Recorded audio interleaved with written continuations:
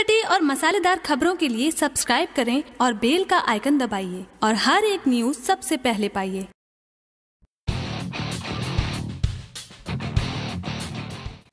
भोजपुरी में एक के बाद एक सुपरहिट फ़िल्म देने वाली हॉट अदाकारा आम्रपाली दुबे के एक बयान ने सोशल मीडिया पर तहलका मचा दिया है। जी हाँ हॉट अदाकारा आम्रपाली दुबे ने निरहुआ के साथ काम करने से इनकार कर दिया है। जी हाँ दर्शकों की भारी डिमांड के साथ आम्रपाली दुबे ने अब निरहुआ के साथ काम करने से इनकार कर दिया है। एक खबर के मुताबिक, आम्रपाली दुबे अब पवन सिंह की फ़िल्म वांटेड में मुख्य भूमिका में नज़र आने वाली है। काफ़ी दिनों से भोजपुरी फैंस आम्रपाली दुबे को सोशल मीडिया पर यह मैसेज कर रहे थे कि वह निरहुआ को छोड़ एक बार पवन सिंह के साथ फ़िल्म में नज़र आए। विशेष खबरों से पता चली है कि वांटेड में आम्रपाली दुबे को पवन सिंह के साथ रोमांस करते हुए नज़र आने वाले हैं। अगर ऐसा होता है तो पवन सिंह और आम्रपाली दुबे की पहली फ़िल्म साथ होगी। इन दोनों की जोड़ी का पहला गाना राते दिया बुता के पिया क्या क्या किया ने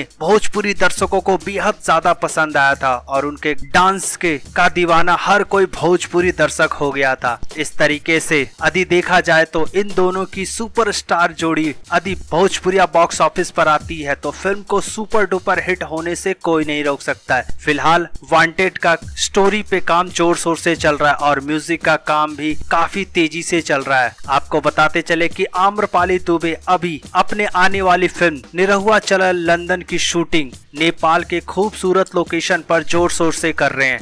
इस फ़िल्म में आम्रपाली दुबे के साथ दिनेश लाल यादव निरहुआ नज़र आने वाले हैं।